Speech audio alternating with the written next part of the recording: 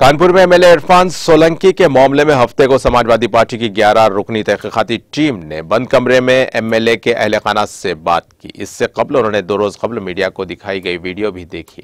तहकीकाती team के अरकान ने कहा कि एसपी हुकूमत के दौरे दौर में तहकीकात के बाद एफआईआर दर्ज की गई। मौजूदा हुकूमत में न सिर्फ़ एफआईआर दर्ज हुई, बल्कि एमएलए के साथ मुजरिमों जैसा सलूक किया गया है। चीफ विहिप विधानसभा डॉक्टर मनोज पांडे के अलावा दीगर जो विधायक और सबक दोष होने वाले मेट्रोपॉलिटन सदर एसपी की इस तहकीकाती टीम में शामिल हैं।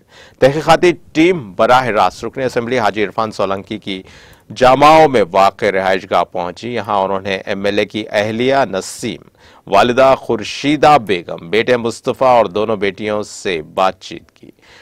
तहकीकती टीम में शामिल मेम्बरान का कहना था कि वो पुलिस कमिश्नर से मुलाकात करेंगे और इस पूरे वाक़े को रखेंगे और मुनसिफाना तहकीकत का मुतालबा करेंगे। पुलिस ने बगैर किसी सबूत के मुकम्मल कार्रवाई की है। तहकीकती रिपोर्ट एस पी सरबरा अखिलेश यादव को सौंपी जाएगी।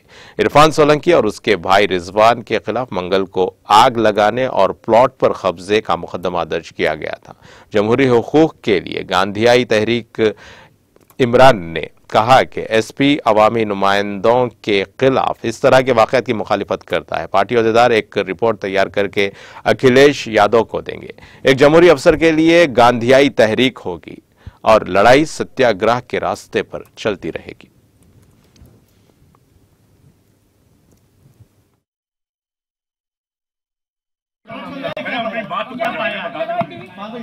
देखिए अभी अभी ये डेलीगेशन समाजवादी पार्टी का ये डेलीगेशन जो माननीय राष्ट्रीय अध्यक्ष आदरणीय अखिलेश यादव जी के द्वारा यहाँ भेजा गया है हम लोग अभी अभी यहाँ पर पहुँचे हैं। और अभी आपके सामने ही जो सीसी कैमरे की फुटेज है उसको हम लोगों ने देखा है।